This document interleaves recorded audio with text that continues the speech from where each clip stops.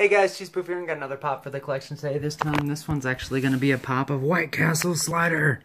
Boom. So they started making a variety of different food pops and stuff, and this was just a White Castle burger coming out of that little case. A little smiley face and that kind of stuff. There we go. So, I'm going to pull the little White Castle out so you guys can see him up close. This guy's definitely cute though. You can see his little eyes and his tongue sticking out, uh, looking right there.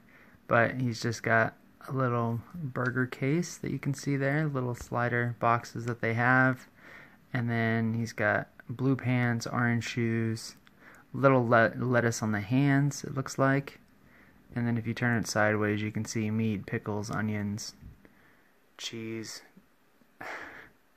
all that fun stuff little Funko logos on the bottom there too. Just kind of cute for what it is though, that's for sure.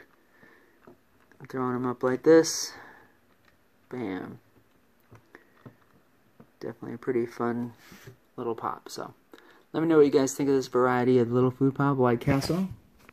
And with that being said, that's it for this time. Hope you guys enjoyed, and I'll see you later.